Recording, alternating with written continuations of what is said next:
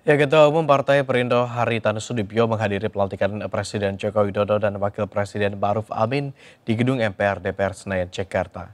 HT berharap di periode kedua kepemimpinan Jokowi, ekonomi Indonesia dapat maju lebih pesat lagi sehingga Indonesia mampu menjadi negara yang disegani di dunia internasional.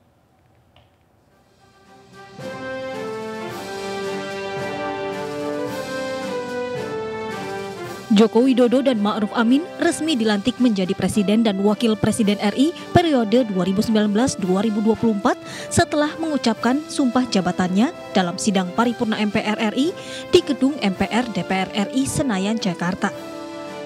Selain dihadiri oleh pejabat dari berbagai negara, sidang paripurna pelantikan ini juga dihadiri oleh tokoh-tokoh politik dan pimpinan partai. Salah satunya adalah Ketua Umum Partai Perindo, Hari Tanu Sudipyo.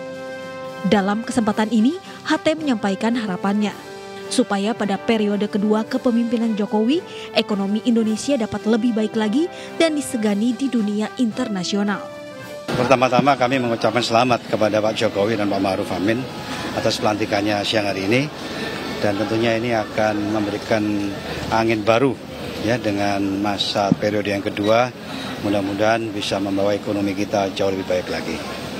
Ya yang paling penting ekonomi. Kalau ekonominya berkembang bagus, otomatis akan memperbagi yang lain karena kita pasti punya dana cukup untuk membangun pendidikan, infrastruktur, eh, kemudian terkait dengan militer, ya alat halus kita dan semuanya pendidikan itu sangat penting, tapi itu kan perlu pendanaan besar. Jadi ekonomi adalah yang menurut saya yang paling penting untuk secepatnya dibuat lebih baik lagi.